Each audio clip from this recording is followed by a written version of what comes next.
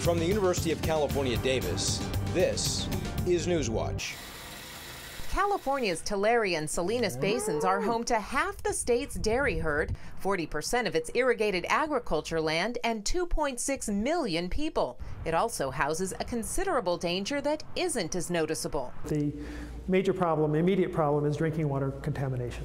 Specifically, the chemical nitrate. Experts say 95% of which is generated by cropland. It's one of the most prevalently detected chemicals of concern in groundwater in the state.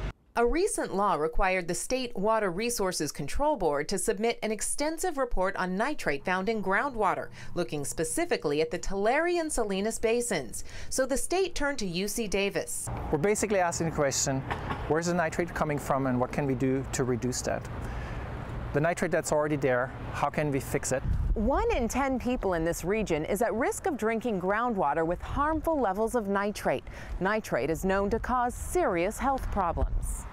I hope that this research will lead to solutions that will make life in California healthier and safer.